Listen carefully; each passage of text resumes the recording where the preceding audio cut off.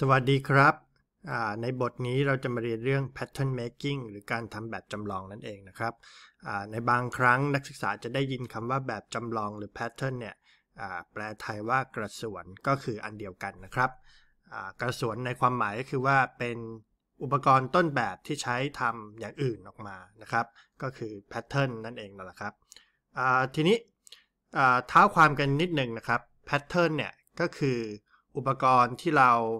มีไว้เป็นต้นแบบ พอเราทำแบบทรายเสร็จปั๊บเราประกอบแบบเทโลหะใส่นะครับแพทเทิร์นนี้ก็จะถูกถอดออกไป แล้วก็เอาไปทำแบบหล่อออกมาอีกหลาย ๆ อันนะครับนี้แพทเทิร์นเนี่ยนะครับก็จะมีขนาดใหญ่กว่าชิ้นงานเล็กน้อยนะครับ เพราะว่างานหล่อเนี่ยจะต้องหดตัว การหดตัวในที่ว่านี้ก็เป็นการหดตัวในสภาวะของแข็งครับสำหรับวัสดุที่ใช้ทำแพทเทิร์นนะครับก็ต้องมีความต้านทานการสึกหรอความแข็งแรง กึ่งสายกัดเจาะได้ง่าย เพราะว่าเราจะต้องใช้ขึ้นจะต้องขึ้นรูปมันให้ได้ก่อนนะครับ ถ้ามันทำยากเนี่ยก็มันก็ทำแพทเทิร์นยาก มันก็ทำอย่างอื่นยากด้วยนะครับ น้ำหนักต้องเบานะครับ คือถ้าเกิดว่าน้ำหนักมากก็อาจจะมีโอกาสที่เวลาเคลื่อนย้ายมันลำบาก แล้วก็คนงานก็จะปวดหลังนะครับ มีความต้านทานการผุกร่อนนะครับ ก็คือสามารถใช้ได้นานเก็บไว้ไม่เป็นสนิมไม่ผุ ผุพังไปนะครับแล้วก็ต้องไม่ไม่แพ้ความชื้นนะครับแล้วก็สามารถซ่อมได้ง่ายนะครับ เพราะว่าแพทเทิร์นของเราเนี่ยก็อาจจะชำรุดได้จากอตอนที่เราตำแบบหรือเครื่องจักรที่ทำแบบเนี่ยนะครับ มันกระแทกกระทันอะไรเงี้ยนะครับ อาจจะหลุดเสียหายก็สามารถตกแต่งกลับคืนได้ วัสดุแพทเทิร์นที่คลาสสิกที่สุดที่มีใช้กันมากที่สุดรวมทั้งห้องปฏิบัติการของเราด้วยก็คือไม้นะครับ สาเหตุก็เพราะว่ามันหาง่าย ราคาไม่สูง น้ำหนักเบากรึงสายกระเจาะได้ง่ายมากนะครับข้อเสียเปรียบของมันก็คือว่ามันแพ้ความชื้นนะเวลามันได้รับความชื้นมันก็จะมีการหดขยายตัวนะครับ ความแข็งแรงก็ต่การสึกหรอนะใช้ใช้ไปมันก็สึกหรอได้ก็ต้องมีการ maintenance เป็นประจำนะครับไอ้ pattern ที่ทำจากไม้เนี่ยปัจจุบันนี้ก็เริ่มหายากขึ้นเรื่อยๆนะครับ ส่วนใหญ่ก็ เขาก็จะอยากได้ไปประดับตกแต่งบ้านหรือว่าเป็นพิพิธภัณฑ์กันละนะครับ ไม้ที่เขาใช้กันนะครับ ในบ้านเราเนี่ยก็ถ้าเป็น pattern อย่างดีเลยเราก็นิยมใช้ไม้สัก เนื่องจากไม้สักนี่มันทนทนความชื้นนะครับ แล้วก็มีความแข็งนะครับ grain ละเอียดตกแต่งเจาะได้ง่ายนะครับ ซึ่งก็นั่นก็คือเหตุผลเดียวกันที่ไม้สักเขานิยมใช้ทำเฟอร์นิเจอร์ภาษาอังกฤษเขาเรียก teak wood เนี่ยไม้สักเนี่ย ใช้ทำเฟอร์นิเจอร์สนามนี่ได้ดีเลย เพราะว่ามันทนความชื้นนะครับ grain มันละเอียดนะครับในต่างประเทศก็จะใช้ไม้สนนะครับ ไม้สนนี่คือถูกสุดละมาฮอกกานีแล้วก็เมเปิลนะครับ พวกนี้ก็จะเป็นไม้ที่ไม้สนเนี่ยจะความแข็งต่ำหน่อยนะฮะแต่ว่าตัดเลื่อยได้ง่ายมากมาฮอกกานีนี่ก็เกรนละเอียดขึ้นมาเมเปิลนี่ก็ทนทนการสึกหรอนี่มากกว่าในบรรดา แต่ว่าก็ ความแข็งก็จะสูงไปด้วยนะครับ และไม้ทั้งหมดนี้ต้องผ่านการอบแห้งก่อนนะ ก่อนที่จะมาทำขั้นตอนต่างๆ ทีนี้เกี่ยวกับเรื่องไม้นะครับ เป็นความรู้ประดับตัวไว้ก็ดีนะครับ เวลาลงเลื่อยเขาเลื่อยไม้เนี่ยนะครับ เขาจะเลื่อยหลายวิธีด้วยกันนะครับวิธีที่ 1 ก็คือ plain sawn นะฮะ plain sawn นี่คือเลื่อยอย่างนี้ยฮะสมมติว่านี่คือหน้าตัดของไม้นะครับก็จะเลื่อยกันแบบนี้ มันเป็นวิธีการเลื่อยที่เสียเนื้อไม้น้อยที่สุดนะครับ แล้วก็ได้หน้าหน้าไม้โตที่สุด สมมุตินะว่าเส้นผ่านศูนย์กลางเท่ากันเนี่ยนะครับ เลื่อยด้วยวิธี plane sawn เนี่ยเราจะได้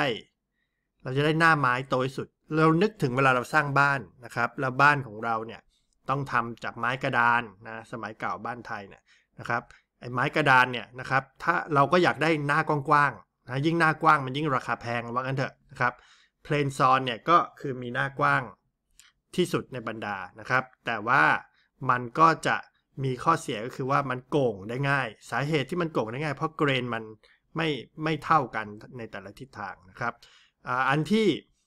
จะดีกว่าก็คือ quarter sawn นะ quarter sawn คือแถวๆนี้นะครับ ข้อเสียมันคือหน้ากว้างมันจะไม่ได้มาก แต่มันจะมีความแข็งมากกว่า แล้วก็โก่งจากความชื้นได้น้อยกว่า อันที่ดีสุดคือ rift sawn rift sawn คือตรงนี้นะครับ จะได้ grain ที่มีลายไม้ตรงแบบนี้เลยนะครับ แล้วก็มีความละเอียดมาก แล้วก็ต้านทานความชื้นมากโกงน้อยที่สุด แต่ก็แพงที่สุดด้วยทำไมถึงแพง เพราะว่าถ้าเส้นรอบวงของต้นไม้เท่ากันมันจะได้หน้าแคบกว่าเพื่อนนะครับ นอกจากไม้แล้วก็มีโลหะนะครับ โลหะที่เราใช้ก็อย่างเช่นแมกนีเซียมอลูมิเนียมบิสมัททองเหลืองบรอนซ์เหล็กก้าเหล็กหล่อนี้เป็นต้นนะครับก็ได้เปรียบคือมันไม่ดูดความชื้นจากทรายแบบนะครับ มีความแข็งแรงสูงต้านทานการเสียดสีสูง ข้อเสียก็คือแพงแล้วก็น้ำหนักมาก กึ่งใส่กระเจาะก็จะยากด้วย ตารางทางขวานี่อาจารย์อยากจะให้ดูพอประดับความรู้นะครับ ก็คือว่าโลหะเนี่ยมีหลายประเภทนะโลหะที่มันมีส่วนผสมที่ให้จุดลำตัวต่ำซึ่งทำให้เราอะสามารถทำแพทเทิร์นได้ง่ายนะครับ เพราะว่าการที่มันจุดลำตัวต่ำเนี่ยเราสามารถทำแบบ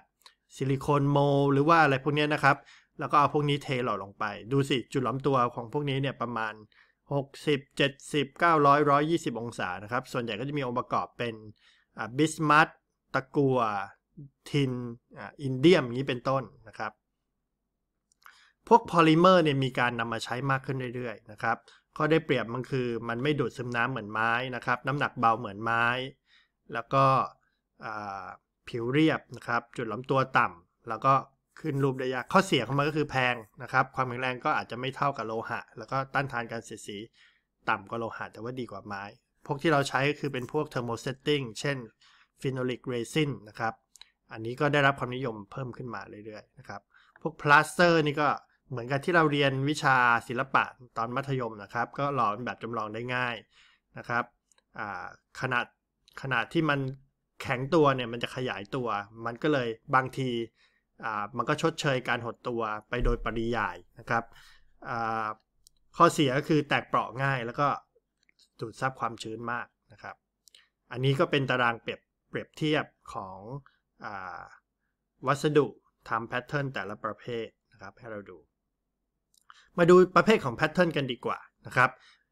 ประเภทแรกคือ single piece pattern อันนี้ก็คือเป็นชิ้นเดียวเลยนะครับ มาเป็นชิ้นเดียวเลย เราก็ตำแบบไปก็ทำเส้นแบ่งหีบอะไรกันไปเป็นชิ้นเดียวเลยนะครับ อันนี้ก็จะมีให้เราเห็นในห้องปฏิบัติการด้วยนะครับ แต่อันที่ซับซ้อนขึ้นมาคือ split pattern อันนี้คือแพทเทิร์นที่มันสามารถผ่ากลางได้นะครับ ซึ่งทำให้มันเกิดระนาบเรียบขึ้นมาทำให้เราเนี่ยสามารถตำแบบจากด้าน drag นะครับ แล้วก็มาประกบกันทำโขบเนี่ยได้ง่ายกว่า ซึ่งซึ่งก็สะดวกกว่า single piece pattern มาก ครับ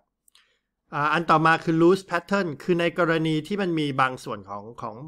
pattern เนี่ยที่มันจะทำแล้วมันถอดไม่ออก ยกตัวอย่างบริเวณนี้ฮะสีขาวที่อาจารย์ชี้เนี่ยนะครับพอเราตำทรายทรายเข้าไปทรายมันเข้าไปอุดอยู่บริเวณนี้มันจะทำให้ถอดไม่ออกฮะหรือถ้าถอดออกมาทรายตรงนี้ก็จะถล่มนะครับวิธีการของเขาก็คือว่า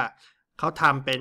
ชิ้นไม้คนละชิ้นกันนะครับพอพลิกตีลังกาเสร็จปั๊บเนี่ยก็ถอดด้านบนออกก่อน แล้วค่อยถอด ด้านล่างออกอีกทีหนึ่ง ก็ทำให้มันทำแบบได้นะครับอันนี้เขาเรียกว่า loose pattern นะครับ เป็นเทคนิคหนึ่ง ต่อมาคือ match plate pattern match plate pattern นี่ก็คือว่า มันเป็น pattern ที่อยู่บนแผ่นนะฮะวัสดุเดียวกันเนี่ยนะครับ โดยที่ด้านล่างของหีบ pattern ด้านล่างกับ pattern ด้านบนเนี่ยนะครับ มันมันเรียงตัวกันอยู่นะครับ ตรงตำแหน่งกัน เวลาเราใช้เราก็ทำแบบทางด้านล่างก่อน พลิกมาอีกด้านหนึ่งก็ทำแบบอีกด้านหนึ่ง แล้วก็ถอดถอด pattern ออก 2 ชิ้นจะประกบกันได้พอดีเลย ตรงกันเป๊ะเลยนะ เพราะว่าเราออกแบบมาไว้แล้วนะครับเพราะฉะนั้นเนี่ยนะครับตำแหน่งของเกตตำแหน่งของรันเนอร์อะไรพวกนี้เนี่ยนะครับก็จะถูกกำหนดมาเรียบร้อยแล้วว่า 2 ฝั่งเนี่ยมันมันสอดคล้องกันนะครับ อันนี้เรียก match plate pattern ทำให้เราทำแบบได้ง่ายขึ้นเยอะเลยนะครับ เพราะว่าไม่ต้องกังวลเรื่องว่ามันประกอบแล้วไม่ตรงกัน อีกอันหนึ่งคือ follow board pattern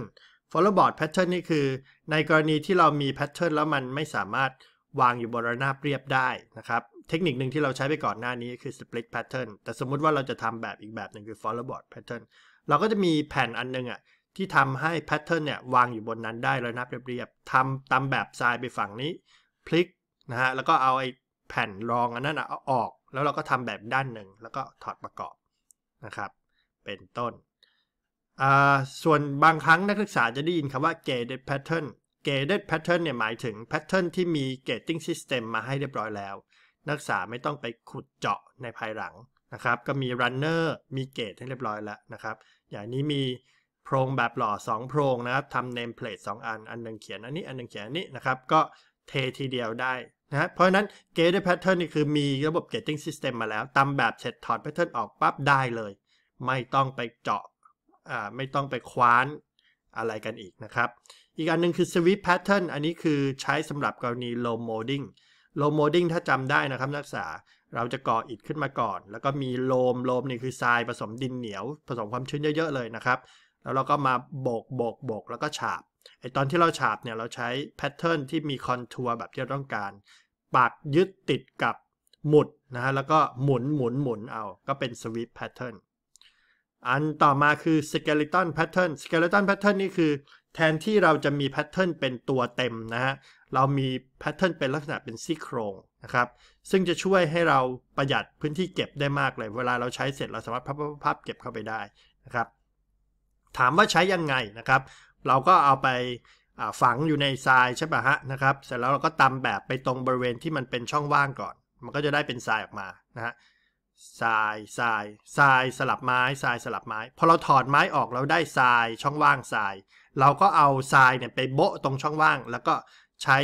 ทรายที่เราตำไปก่อนหน้า2 2อันเนี่ยนะครับ เป็นเป็นตัวกำหนดเค้าโครงแล้วเราก็ปาดให้มันเรียบเสมอกัน เอาอย่างนี้ครับพูดอีกทีหนึ่งสมมุติว่าเรามีนิ้วนะ เรามีนิ้วอยู่เรากางนิ้วให้ห่างออกจากกัน เราเอาทรายไปอุดในช่องว่างระหว่างนิ้วก่อน พอเราถอดนิ้วออกเนี่ยนะครับมันก็เกิดช่องว่างขึ้นไอช่องว่างตรงนั้นอะเราก็เอาทรายมาโปะอีกทีหนึ่งโดยที่ใช้ทรายอันก่อนหน้าเนี่ยเป็นตัวไกด์นะเราก็จะได้โมเต็ม แม้ว่าเราจะมีแพทเทิร์นไม่เต็มก็ตามนะครับมันก็เป็นวิธีที่ฉลาดวิธีหนึ่งนะครับสำหรับในคลิปวิดีโอนี้อาจารย์จะพักอยู่ที่ตรงนี้นะครับ ในหัวข้อต่อไปเราจะมาพูดถึง pattern allowance